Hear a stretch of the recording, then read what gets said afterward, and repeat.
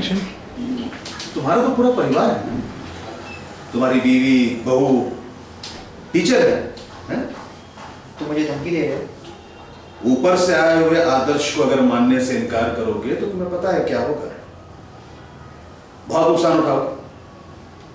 मेरा ट्रांसफ़र होगा वो भी किसी खेड़े गाँव में पूरे कायदे के साथ।